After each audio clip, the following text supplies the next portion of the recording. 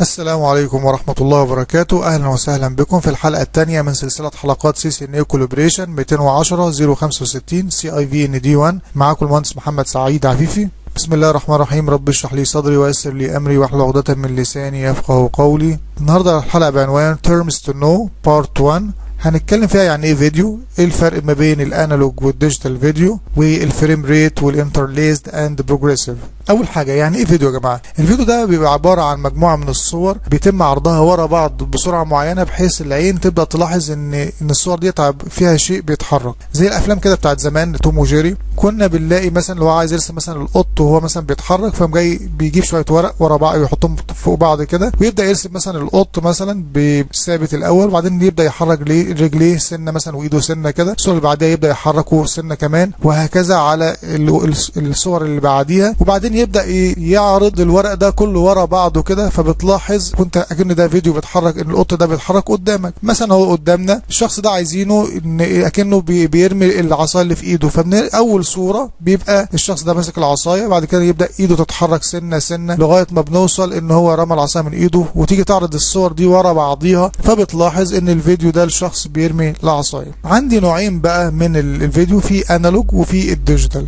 بالنسبة لل analog لو نفتكر زمان كده كان في السينما شريط السينما الفيديو الفيلم اهوت كان لو بصيت فيه كده وفردته كنت هتلاقي إن في عبارة عن زي صور كلها صور ورا بعضيها حتى تلاقي كل مجموعة من الصور بتبقى شبه بعض. يا دوبك في اختلاف بسيط. اللي هي الحركة بتاعه الأشخاص في الفيلم. والشخص ده كان بيحط الفيلم جوه البروجيكتور وبعد كده يجيب بينور الإضاءة. الإضاءة دي تيجي على الفيلم وتتعرض على الشاشة عادي خالص. كان الشرايط المستخدمة بقى عشان نسجل الأفلام ال analog ديت كانت اللي إحنا لو نفتكر بقى الأشكال بتاعت زمان اللي هي ال VHS وال VHS-C وال HI 8 وال Betamax Sony كل ده حاجات قديمة طبعا يا جماعة ما عادش حد بيستخدم الكلام ده يعني. الدنيا طبعا اتطورت. عايزين بقى نحول من الانالوج للديجيتال الديجيتال الديجيتال فيديو ظهر بتعبر عن الصورة بال zero وال one وده طبعا ده مفيد. لما يعني بتيجي تعمل copy حتى للفيديو ما بقاش زي ال analog كده. ال analog عشان تعمل له copy على شريط تاني كان ال quality بتاعت الفيلم نفسه بتقل وكان الشريط نفسه بيبقى ليه expire المادة الفيلمية نفسها بتبقى expire بعد بعد خمس سنين ممكن تلاقي الفيلم ده باظ. لكن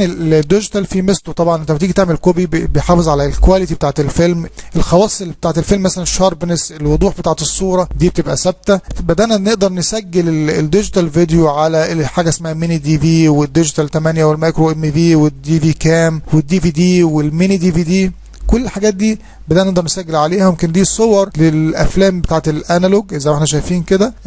S وال H HI 8 وال VHS-C وال Betamax برضه لغاية ما وصلنا للاخر خالص اهوت اللي هو الايه ال digital فيديو بتسجل على ال DVD وال Mini DVD في بقى بعض التعريفات يا جماعة المهمة اللي محتاجين إحنا نعرفها لأن أنت بتشوفها كتيرة. مثلا يقول لك ال frame rate ال frame rate ده المقصود بيه انت تقدر تلقط كام صورة اثناء تسجيل الفيلم في الثانية الواحدة. ويمكن اللي بيقاس بيه حاجة اسمها FPS اللي هي ال frame per second.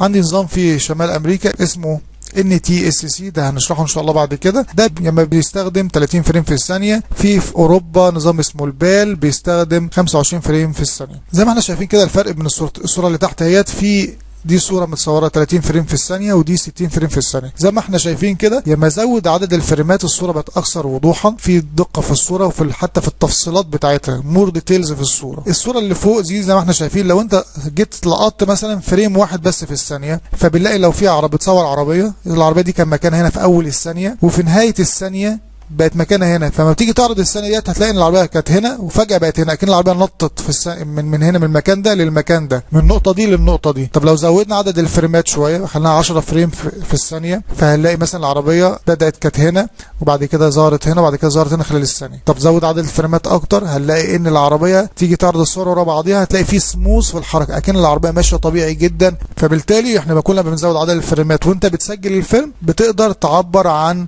الحركة بتاعت الفيديو أكثر دقة وأكثر وضوح. في طريقتين بقى عندنا إزاي تقدر تعرض الصورة على شاشة التلفزيون. في طريقتين عندي اللي هو ال interlaced وال progressive. أول طريقة عندي اللي هي ال interlaced يا جماعة ديت بنستخدمها مع ال traditional TV اللي هي ال analog TV والشاشات بتاعت زمان اللي هي ال cathode ray tube اللي هي ال CRT انت عندك قلنا في الثانية الواحدة بيتعرض مثلا كذا frame. ال frame ده اللي هي يا جماعة المقصود بيها اللي هي الصورة. الصورة الواحدة دي بتتكون من lines بالعرض كده. ممكن بتوصل ل 480 line ففي طريقة ال interlaced قال لك خلاص إحنا هنرقم ال lines ديت ونبدأ نبعت ال lines الفردية اللي هي الخطوط الفردية. 1 3 5 7 9 11 دي هبعتها الأول. في زمن قد إيه؟ قال لك 1 على 60 1 على 60 وبعديها بعد الزمن ده نبعت الخطوط الزوجية اللي هي 2 4 6 8 10 12 وهكذا. هنبعتها برضه في زمن قد إيه؟ قال لك 1 على 60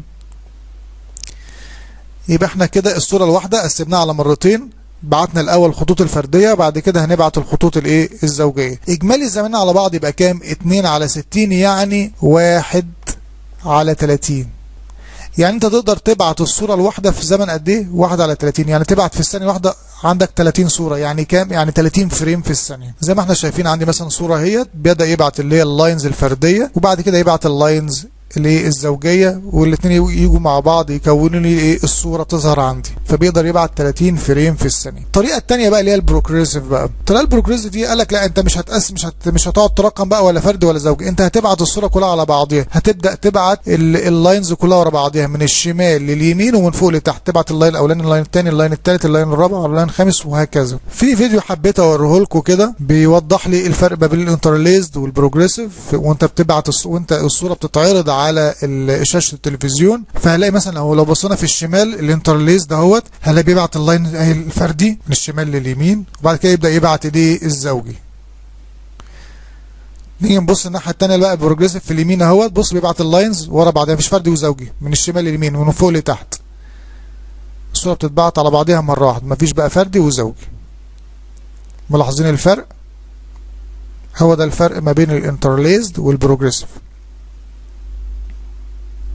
إحنا كده يا باشمهندس طب إحنا بنستخدم ال interlaced ليه بقى؟ إيه مميزاته؟ قال لك نتيجة إن أنت بتبعت الصورة الواحدة على مرتين فبالتالي بتستهلك bandwidth قليل. فلما بتستهلك bandwidth قليل فال system اللي أنت بتستخدمه نفسه بيكون آه مش معقد مش غالي فبالتالي الثمن بتاعه قليل. الميزة الثالثه والمهمة برضو إن هم بيستخدموه في عملية ال broadcasting لل TV signal يعني في لما بيجوا يبعتوا الإشارات بتاعة التلفزيون بيستخدموا ال interlaced في عملية ال broadcasting بتاعته.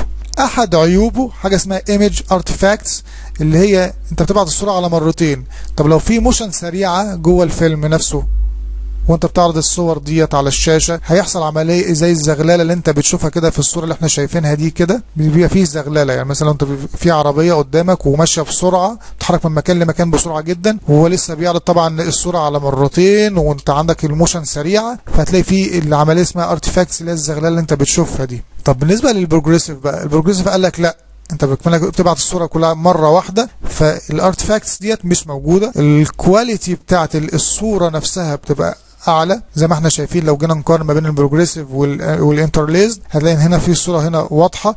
هنا هتلاقي في زي أكن في خطوط كده لوش الشخص أهوت قدامنا. ال resolution كمان بتاعت الصورة بتبقى أحسن والوضوح بتاعها بيبقى أحسن. كل ديت ال details بتاعت الصورة الواحدة طب انت كده هتستهلك bandwidth كبير وده أحد العيوب المهمة لل progressive إن هو بيستخدم bandwidth كبير لأن أنت بتبعت الصورة مرة واحدة الصورة بتبقى فيها details كتيرة بيستخدم مع ال high definition فكل ده بيستخدم bandwidth كبير. ده بقى حسب ما أنت احتياجاتك إيه. فهتجيب لما تيجي تشتري جهاز تلفزيون هتشوف بقى أنت عايز انت إيه الاحتياجات بتاعتك وايه متطلباتك وعلى أساس انت هتختار.